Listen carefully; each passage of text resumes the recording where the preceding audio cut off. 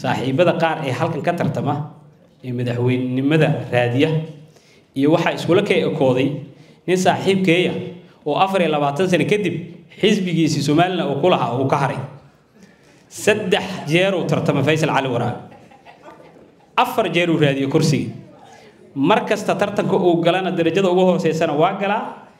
In badan oo la socotana waa ka haraan tiriibka damba markuu soo noqdana intii isaga ka hartaa macno yeelata horay u sii socotaa isna meeshuu ka bilowda. Waxaan baaray marka sababta ku kalifaysay. Boqolkii sagaashan iyo shan waxay faysal ma ogola wax wada lahaanshaha. Ma ogolayn in wax lala dhisto. Ma ogolayn xisbiga inuu meerto noqon karo. Ma ogolayn musharaxiin kale inay fursad heli karaan. Ku-xigeenka xukuumadda dan qaran senatorna lagama tegi karo haddaan hadda senator loogu darin warqad kale ka daba imaanaysa senator saalax jaamac wasiirada sharafta leh xildhibaanada labada gole marti sharafka kale qof walba martabada iyo darajada uu ku fadhiyo ayaan ku salaamayaa waxaana leeyahay waa idinkaga mahad celinayaa sida quruxda badan ay igu timaadeen. Waxaa marka hore ku bilaabayaa kaftan oo waagaan kursiga soo doonay labada kun iyo lix iyo tobanka farsamada waayo arag ma fahamsanaynoo ninkan odagaa saaxiibkeeya dhagdheer ee caawa la isugu tegay anigu ma islahaynba intaan waa isugu tegaysaaye sida gees loo mariyaa ka fahmay in odaga wa shamsi caawa ku socoto. Anigu dhexda u raadinaa inuu soo fariistee urugaas senator raalli ahow soo dhawow baa waagaan cusbaaba waxaan la imid yurub waxaan ka soo bilaabay fariimaha waxaan qaban doono duuban inaan sharaxo oo media la soo geliyo sida adduunyada loo sameeyo xaysiimaha. Waxaa qabanaysid iyo heeso loogu talagalay xildhibaanka. Waxa uu qabanayo waxa lagu dooranayo. Odaga marka waxaan isku aragnay meeshii la yidhahda cadaadu. Intii aan halgan ku jiray ilama sheekaysan meelihiisu iska socday. Markii wixii igu dhici karay igu dhaceen aan soo noqday. Oo halkaan igu arku wuxuu yidhi hal kuu sheegaa haddaad soomaali wax ka rabtid shanqarta waa la yareeyaa heesahan mar dambe ha soo tartiib wax ku raadsan. Horta taladiisii toban sano kadib horta hees la'aanaan senator hal sano ka dhimantaa ku soo qaata hees dambena ma jirto. Waxaana ku soo xasuustay markay xafladdan bilaabanaysaa la yidhi heesihii iyo muusigii dhextaalkii fanaaniin maxaa loogu yeeri waaye? Waxaa yidhi senatarkaa diiday waxaas. Annaga waxaan rabnaa inaan dadka toos isku aragno waa naloo dhooxeen maayo erayo iyo heese ma jiraan. Laakiin qolo taariikhdeeda taqaanaa waayaha cusub iyo habarintai ugu horeysa iyo fanaaniintii iyo howlo badan gashay. Habar waa maasan tahay taariikh badanaa dadkaa dib u xasuusay. Laakiin dee waayaha cusub iyo heesahoodu waa mar aan aan aan magaalada muqdisho ka baxay maka xaaji banaadir iyo s t n iyo heestiisii la dhihi jiray bacdaa dhuuqso ah waxaas dhan ka horreysa marka haddiiba fan laga hadlay haddii saxaafad laga hadlo odagaa u joogo odagaan ka tirsanahay oo la soo halgamay. Laakiin waxaa ka mid ahaa dadkii dhexdii maaragtay halgankiisii dee saxaafadda iyo heesaha iyo suugaanta iyo kula soo barbaaray. Sharafayna ii ahayd inaan la soo shaqeeyo maka xaaji banaadir oo kale. Waay. Waay. Da'dayda waxaa kaafinaya. Horta waagii aan shaqada bila horta waxaa kaafinaya marka ugu horeysa maka xaaji banaadir nin la shaqeey ma yara. Intaas horta muhiima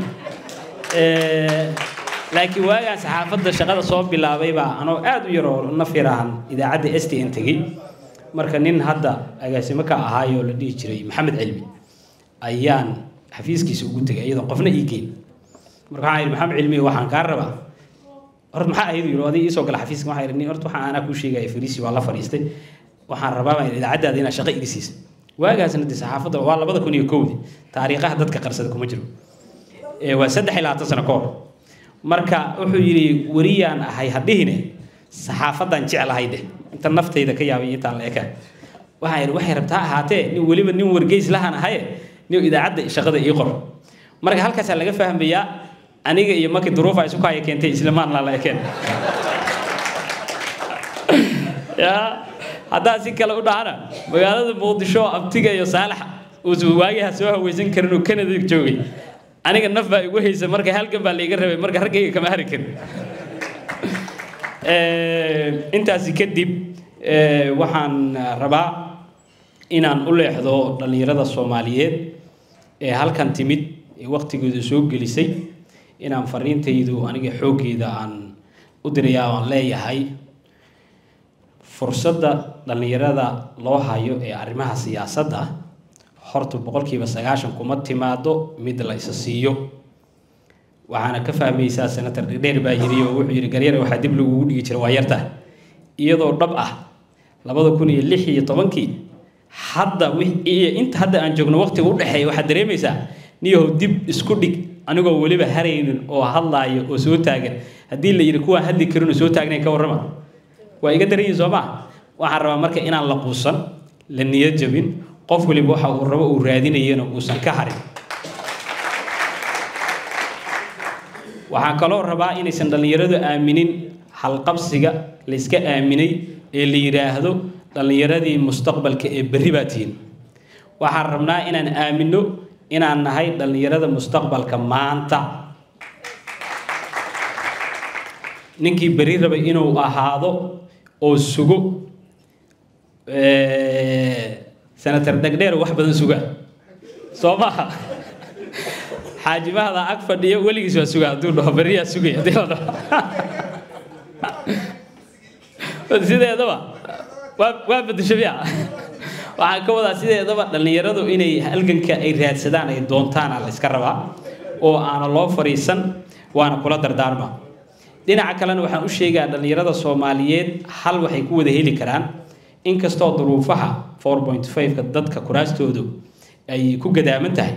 Haddana waxa fursadda boqolkiiba sagaashan kuu abuuraya waa in aad dadkaaga soomaaliyeed oo dhan aa isku wadatid. Aniga kursiga aan raadinay maanta aan ku fadhiyaan soo qaatay boqolkii sagaashan iyo shan waxaa igala shaqeeyay dhallinyarada soomaaliyeed oo gees ka gees jooga ilaa ay qurbaha kuwa jooga. Haddaan xaafad isku koobtid xafladdaanna xaafad iima dhigi karto kursiga xaafad ilama raadin karto ummadda soomaaliyeed oo dhanna kaama gadi karaan kursi waa ku siin karaan laakiin kuguma hayn karaan.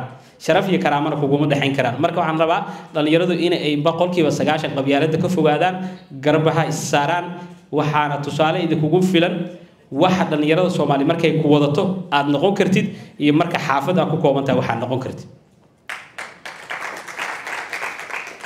Haddaan u gudagalo arrinta ku saabsan dee markaan soo noqday iyo waxa la iga filayay iyo meesha aan aaday ani doorasho dadban iyo doorasho toosa wixii aan ka dhihi karay madashii baarlamanka hortiisaan ka idhi ma aadayo. Laakiin waxaan sheegayay oo keliya caddaynayay adduunka meesha aniga weliba aan ka imid waxa laga aaminsan yahay qofka yacyacoodka ah lagama jeclo. Qofka aan la oqoon meesha uu ka tirsan yahay waxa uu aaminsan yahay iyo waxa uu ka shaqaynayo waa qof lagu wareero waqti badan lama geliyo. Sidaa darteed anigu markaan imidna waxaan ahay waa sheegay shan sano ka horna mucaarad inaan ahayna waa la ogaa haddana waxaan leeyahay doorasho dadban haddaa aaminsan tahay hala dhuuman dadka ku culaadiyo kuma jiro. Dadka doorasho toos haddaa aaminsan tahayna hala dhuuman. Waxaa rabtidna sheeg waa waxa xildhibaan dayax uu yidhi shan t v baa lii hor istaajiyay garyar markuu aqalka soo galay. Shanta t v waa lagu qasbaya marka waxaa aaminsan tahay inaad bannaanka la keentid oo radayn oo dhan ku fahmaan waa meeshaa jirta. Soo saas ma intaasi kadib waxaan rabaa doorashada dadban iyo anoo arrintaas ka faa'iidaysanaya doorashada tooska. Dadka saaxiibada iyo siyaasadda ku jira oo hogaamiyeyaasha ah ee qaarkood diidan ayaan rabaa hal tusaale inaan ku soo qaato. Weliba qaarkood.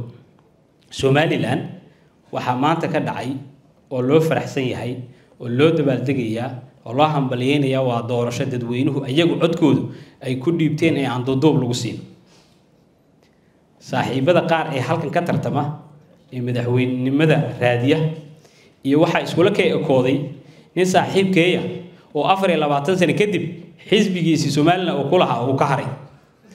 Saddex jeer uu tartama faysal cali waraabe afar jeer uu raadiyo kursigii mar kasta tartanka uu galana darajada ugu hooseysana waa galaa. In badan oo la socotana waa ka haraan tiriibka damba markuu soo noqdana intii isaga ka hartaa macno yeelata hore u sii socotaa isna meeshuu ka bilowdaa waxaan baaray marka sababta ku kalifaysay. Boqolkii sagaashan iyo shan waxay faysal ma ogolo wax wada lahaanshaha. Ma ogolay in wax lala dhisto. Ma ogolayn xisbigu inuu meerto noqon karo. Ma ogolayn musharaxiin kale inay fursad heli karaan. Musharaxiinta saaxiibaday ee qaar ka mid a halkan jooga ee madaxweynenimada raadiya ee qaarkood diidan doorasho toosa waxaa ku jira qaar iyaguna saddex jeer madaxweyne raadiyey. Ma helin haddee kuwa hela karaa bay leeyihiin mana haysto. Saddexdii jeerba ma helin. Haddana xisbiga iyo dadka ay wataan boqolkiiba sagaashan iyo shan waa ka tageen. Waxaan leeyahay duruuftiinu sidaysan ugu ekaanin midii faysal cali waraabo oo kale. Isdaba qabta dadka aamina isbeddelna sameeya isbahaysina raasada dadka lala noolaada